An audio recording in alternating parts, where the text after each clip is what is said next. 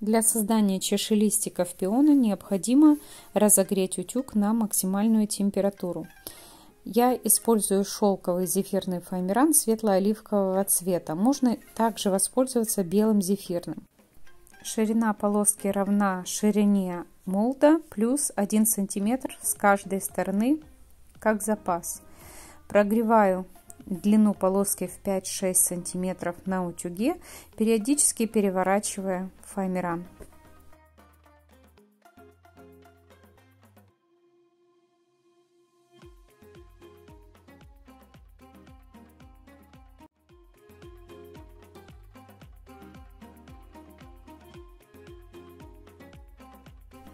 Подготавливаю молд, чтобы удобно было хорошо и быстро расположить фоамиран и сразу же накрыть верхней частью вайнером. Зажимаю плотно.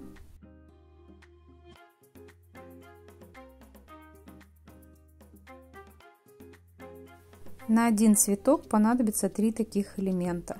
Соответственно, если вы делаете букет, делайте из расчета 3 детали на один цветок или на один бутон.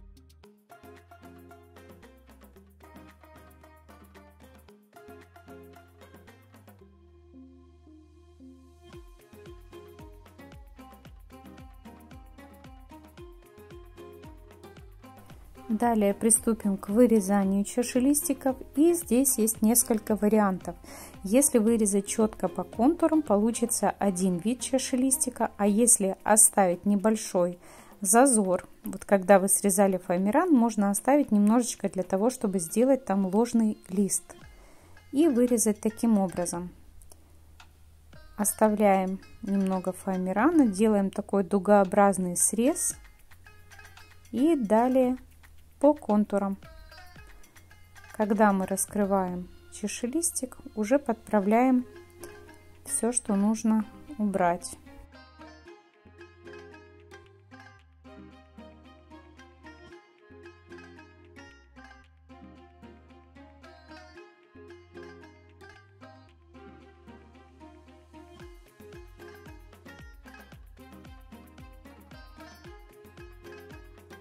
Таким образом у нас получается чашелистик с сложным листиком.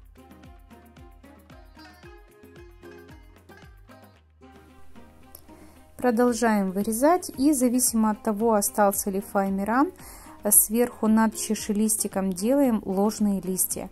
Не нужно делать такой листик на каждом чашелистике, но иногда я их оставляю, так выглядит реалистичнее.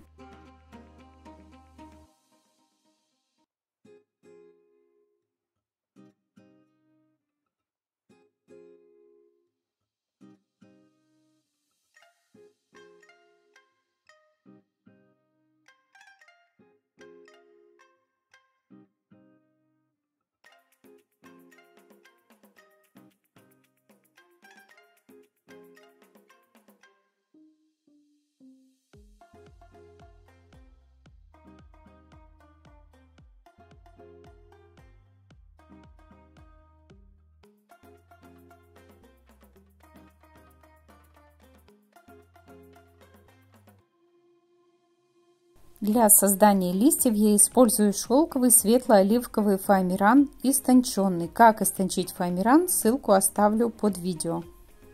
Прогреваю на максимально разогретом утюге. Изначально беру отрезок фоамирана чуть больше по 1 сантиметру со всех сторон, нежели молд. Хорошо прогреваю и с помощью вот так губки Помещаю на молд и по всей поверхности стараюсь прижать, чтобы проявилась фактура. Как видите, моя губка обтянута высушенной влажной салфеткой для того, чтобы скрыть фактуру губки. Снова обжимаю деталью фоамирана губку, прогреваю ее на утюге и хорошо обжимаю по молду. Вырезаю по контурам 2 тройных, один двойной и из тройного делю на сектора по одному маленькому листику. Далее подклеиваю проволоку в бумажной обмотке номер 26 или 28 к спинке листка. Для этого с помощью силиконового клея я промазываю проволоку, разогреваю утюг при этом в режиме 2 и прижимаю к спинке листка. Сверху я оставляю обычно около 2 сантиметров и все остальное подклеиваю. Бывает так, что где-то что-то не подклеилось, поэтому, чтобы все эти огрехи исправить, я прогреваю на подошве утюга и снова прижимаю пальчиками. Расправляю лист и вот так должно получиться.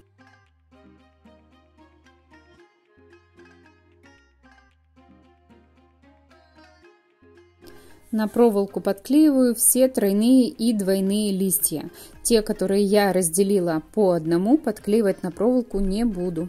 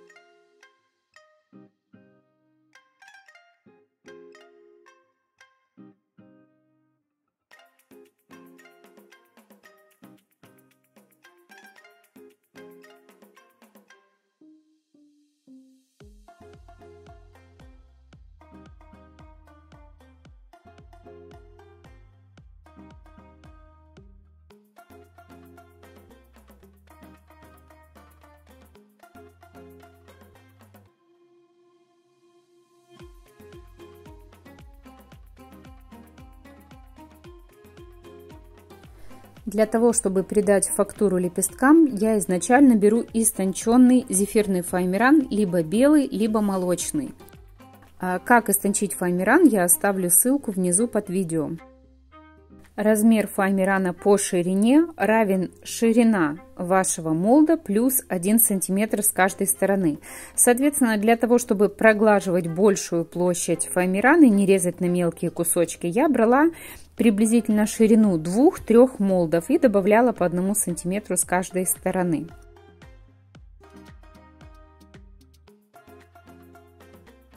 Теперь этот истонченный фоамиран я обтягиваю по губке Прикладываю к утюгу, причем утюг разогрет в режиме 3. И хорошо прижимаю по молду.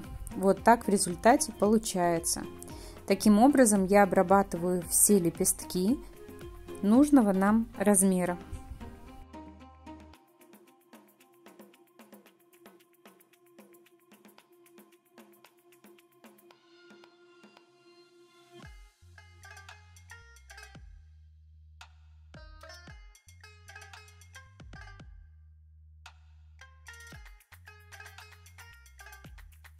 На молде меньшего размера я создаю 2-3 лепестка.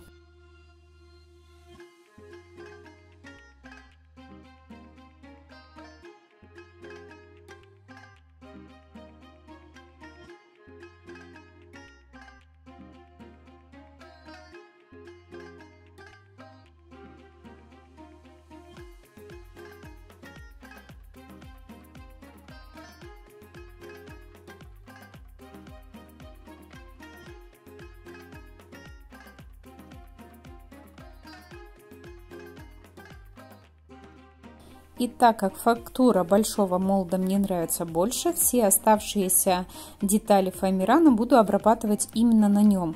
Так как сам фоамиран уже, чем лепесток, я буду стараться попадать посередине лепестка.